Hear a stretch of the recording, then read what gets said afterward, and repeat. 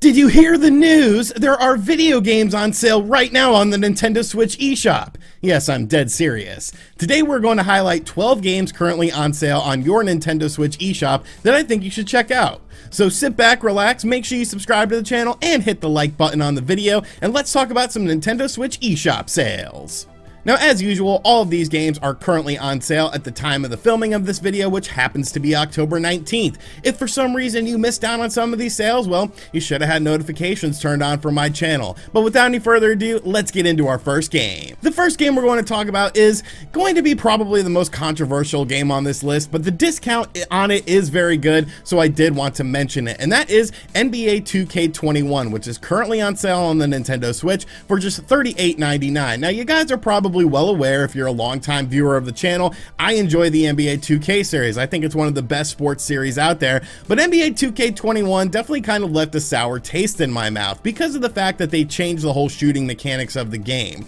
Now, since my initial review of this game, they did update the shooting mechanics in the game and made it a bit easier, and I have checked it out since those patches came out, and I will say that it is a better experience than it was on day one for NBA 2K21, but still, I do wish that it was stored of the old style of shot stick mechanics that we had in the original games instead of changing it essentially to a dribble stick. Now, with all that being said, NBA 2K21 is still the only basketball game in town, and of course, with the NBA season just wrapping up and the draft and trades coming and things like that, obviously the rosters for a game like NBA 2K20 are no longer going to be updated. So if you plan on playing a basketball game in the year of 2021, you're going to want to get NBA 2K 2021 to get the best rosters available. Now this game, like I said, is available for $38.99. That is a pretty cheap discount over the $60 that it released at. And I think if you're an NBA fan, I think they will continually update this game to make it a better experience. It's still a lot of fun on the Nintendo Switch, but I just personally wish that the shot stick had been adjusted.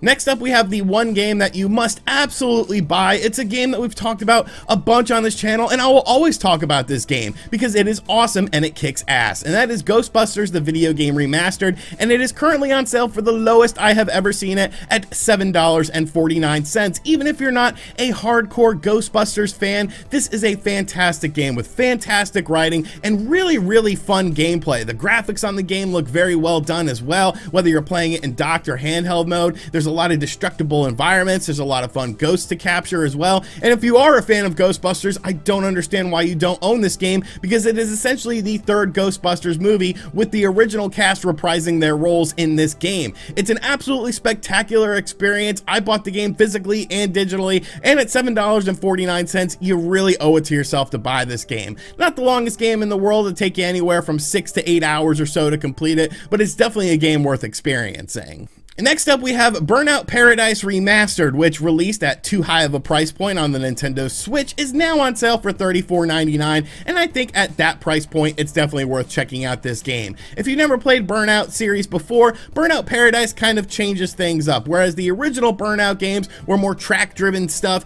Burnout Paradise was actually an open-world style game, and Burnout Paradise Remastered features lots of additions to the original game, such as all of the DLC included in it and redone visuals. The game looks and runs very well on the Nintendo Switch. It's still a blast to play. It just sort of came out at too high of a price point at $50 when it originally released. I think $34.99 is very reasonable for this game, and if you're a fan of racing games, you're going to have a lot of fun with this game.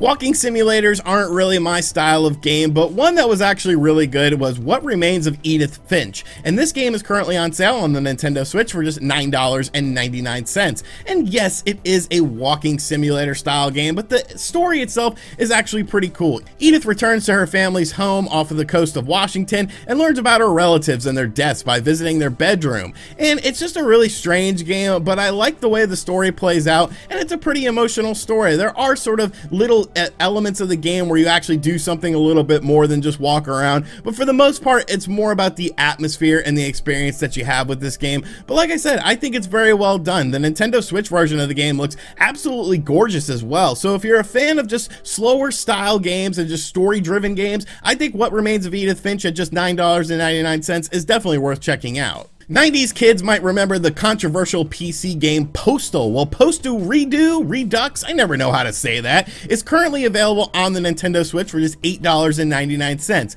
And this game actually just came out. I picked it up a few days ago because I have sort of fond memories of the original Postal, playing it over at a friend's house on his PC. And yes, it's definitely a very controversial style game. If you remember the game Hatred that came out a couple years ago that everyone was up in arms about, well, Postal was essentially Hatred before Hatred hatred was a thing. You play as a character and you just go around sort of killing people in a top-down style, and it is it plays out as a twin-stick shooter. You get a bunch of different weapons and stuff. It's sort of just pick up and play fun. You know, you kind of got to have a sick and twisted mindset in order to enjoy the game. But if you look at it just from a game perspective and you're like, yeah, this isn't real life, you know, this is just a video game, it is sort of fun. There's a lot of additional DLC that is included in the game as well. You can do all sorts of different filters for the uh, graphical style of the game, and I don't know, I've just been having a lot of fun with this game. It's a very mindless game, but sometimes it's fun to unwind with a mindless game. Like I said, Postal Redo, Redux, who the hell knows how to say it, is available for $8.99 on your Nintendo Switch. Oceanhorn 2 is definitely a game I'm looking forward to that's coming out at the end of October, but if you haven't played the original Oceanhorn, now is a great time to check it out because it's on sale for just $7.49. Now, while Oceanhorn 2 is more of a 3D style Zelda game, Oceanhorn, the original game, is more of a top-down Zelda style game. It really plays a lot like a Legend of Zelda, A Link to the Past, and I think that's a good thing. The maps themselves aren't all that big in comparison to that, but I do think it is a very fun game, and at just $7.49, sense, it's worth checking out. It came out pretty early in the Nintendo Switch's life cycle, so if you want sort of a refresher into the Oceanhorn universe, definitely check out the original game that's on sale for $7.49 right now. Another EA game besides Burnout Paradise Remastered that's on sale on the Nintendo Switch right now is Unravel 2 at just $4.99. And honestly, I like this game. I played it when it originally came out on the Nintendo Switch. I thought the first Unravel game was pretty fun, and this is a pretty fun game as well. It's basically a puzzle platformer in which you are using yarn in order to traverse different areas. You have two characters that you can play as at once in order to solve puzzles, and there is local co-op play as well. The visuals in the game are pretty impressive. There's two different graphical modes, one that focuses on more detailed graphics and one that focuses more on performance-based stuff, and I really had a lot of fun with this game. It's not a super long game or anything like that, but if you have someone to play it with locally, I think it would be an even better experience. Unravel 2 is available for $4.99, and if you're a fan of puzzle platformers, you should probably check it out. I briefly want to mention this next game because I've talked about it a million times, but the Bioshock collection, which consists of Bioshock, Bioshock 2, and Bioshock Infinite, is currently on sale on the Nintendo Switch for $39.99. It is a great compilation of games. All of these games are fantastic. Bioshock Infinite is definitely more of an action style game, whereas the first two games are more stealth style games, but they look great on the Nintendo Switch, they run great on the Nintendo Switch, and they're really games that should be in your Nintendo Switch library. If you haven't picked up the Bioshock Bioshock collection. Like I said, you can get the whole collection right now for $39.99. Just make sure you have plenty of memory card room because these games are a bit sizable. But definitely very quality ports on the Nintendo Switch and just really fun games overall. The next game is a game that I have not played yet, but I do plan on picking it up, and that is Battle Princess Madelyn Royal Edition, which is currently on sale for just $3.74. Now, the original Battle Princess Madelyn was a game that came out, it was supposed to be like a Ghouls and Ghosts style game, but it really was more story driven than a lot of people were anticipating, whereas Battle Princess Madelyn Royal Edition strips away most of the story elements from the original release of the game, instead focusing on a more Ghouls and Ghosts style arcade gameplay, which is what the developer developer originally wanted with the arcade mode. Levels have been redesigned and levels have been added to the game. Controls and attacks are now different. There's new music that's been added into the Royal Edition, and there's even three new boss battles as well. Now, one thing that is worth noting about Battle Princess Madelyn Royal Edition is, for some reason, there's only a 4x3 mode. They got rid of the 16x9 mode that was in the original version of the game, so that might sort of rub people the wrong way, but obviously they wanted an old school style ghouls and ghost experience with the Royal Edition of Battle Princess Madelyn. Like I said, this is available for $3.74, has beautiful sprite work that's done in it, and this is a game that I will be picking up because I never got around to playing this game. Here's another hot take game for you that nobody likes this game, but you know what? I do. I think it's a lot of fun, and that is Double Dragon 4. Double Dragon 4 is available for $3.50. And yes, when this game first came out on the PlayStation 4, I played it, and there was a lot of screen tearing, and I don't know, I wasn't really able to get into it. But then I ended up picking up the game on the Nintendo Switch when it was on sale once before for this price point, and you know what? I had a hell of a time playing this game. I think it's really fun. Yes, it is essentially the fourth Double Double Dragon game in terms of the NES series. Yes, it uses that same sort of 8-bit aesthetic that you saw in the first three Double Dragon games on the NES, but is that a bad thing? No, like, I think the gameplay is pretty fun. It's pretty challenging at times, but I think there's a lot of fun stuff in here. You can unlock a whole bunch of different characters to play as in this game. The music is really well done. It's not the best game in the world or anything like that, but it wasn't a $60 game. It was a budget game when it came out at like 10 bucks. So to see it on sale for $3.50, I think is a great deal. And you know what?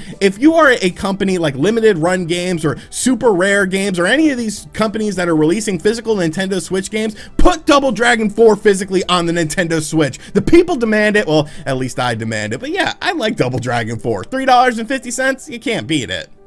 And the final two games we're going to cover are perfect for the spooky season that we are currently in in the month of October. The first game we're going to talk about is a game called Hollow, which is available for $1.99. Now, I actually reviewed Hollow a long time ago, and come to think of it, I actually enjoyed this game. It's, it's been quite a while since I played it, so I did need a bit of a refresher for myself. But basically, you start out, you're on a ship, you don't know how you got there, or why you are there, or what you are doing there. The story starts out pretty slow in the game, but eventually you meet a character who sort of fills in the backstory for you and tells you what's going on, and that's where things get pretty interesting. It's definitely a slower paced game. There's a lot of puzzle solving and stuff, but there is combat in the game, which is something that you don't really see a lot in modern horror games, and I think the combat is pretty solid for the most part, and the game isn't really super long or anything like that. It's like a five hour game or so, but I think the graphics are pretty nice, and I think the game itself is a fun game. It's definitely sort of scary. You definitely get some jump scares within the game, and I think it's just a very solid game overall. Not one of the greatest horror games of all time or anything like that, but at $1.99, if you haven't checked it out and you are a fan of horror games, definitely something worth checking out. And the final game is Perception, which is a game we just talked about a couple days ago on the channel that is also available for $1.99. Now, this is yet another horror game. This is definitely more of a walking simulator style horror game, but I like the whole mechanic of this game where you play as someone who is blind and you have to tap your cane and use echoes in order to sort of visualize what is in front of you because I think it adds a really interesting layer of gameplay to the game. The story itself is very interesting. You definitely want to get to the end of it and find out why this girl is so attracted to this mansion and why these spirits are trying to stop her from uh, exploring this mansion and figuring out the secrets of it and whatnot. And once again, much like Hollow, it's not one of the greatest games of all time or anything like that. But if you're looking for a horror game that you have not played on the Nintendo Switch, it's just $2. Like, you can't beat this sort of thing. I definitely recommend both Perception and Hollow on the Nintendo Switch. I did full reviews of both of these games on the channel, so make sure you search for those. Just type in like Hollow RGT and it'll probably pop up and you can see my full thoughts on the game. But I definitely recommend checking out both of these games at just $1.99. Alright, so that is going to do it for today's video. I hope you guys enjoyed it. Be sure to let me know what you think of my picks in the comments section down below. Are you an anti-Double Dragon 4 person like many people are, or do you sort of see the charm in the game like I managed to do it? And do you plan on picking up any of these games? Like I said, I'm about to go pick up Battle Princess Madelyn Royal Edition because I, I never played it and I want to play it, and at $3.74, it seems like a good deal. And as always, guys, thank you for checking out this video. Like I said at the start, if you are new to the channel, make sure you subscribe and turn on notifications. Check out other other videos on the channel as well. And as always, I'll catch you guys on the next one. Later.